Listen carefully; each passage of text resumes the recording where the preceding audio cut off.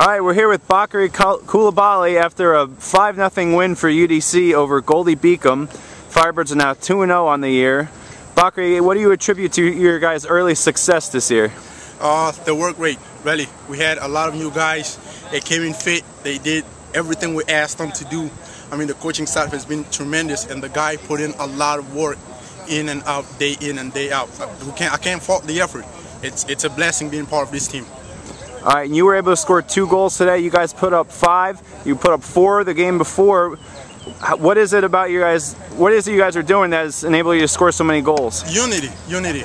Uh, we've changed a lot as players individually and then as a group. We've learned to move together as a unit.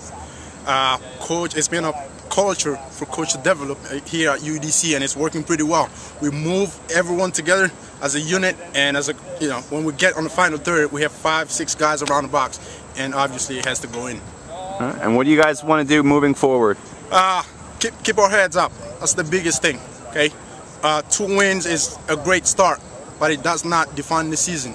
We have to get back to basics, go back to work harder every day and get better. All right, we're going to the ECC for the second time. I'm pretty sure we sent a clear message last year saying that we're coming. And here we are, okay? We'll battle and hopefully end up in the top four and we'll see what happens from there.